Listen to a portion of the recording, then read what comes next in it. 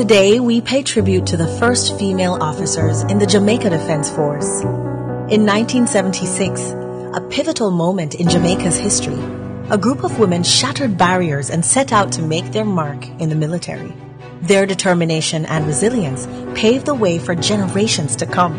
By name, they are Grace Viola Barley, Suzanne Antoinette Hike, Flora Jair Ann Veriona Cameron, Janice Marie Copeland, and Yola Teresa Kane.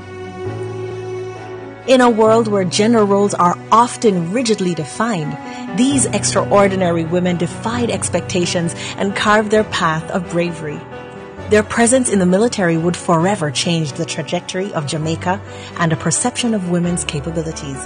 They demonstrated that barriers are meant to be broken, and every woman has the right to contribute her talents and skills to the defense of her nation.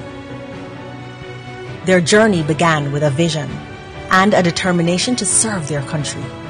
They proved that courage knows no gender and dedication transcends boundaries. Each step they took was a testament to their unwavering commitment to the ideals of the Jamaica Defense Force.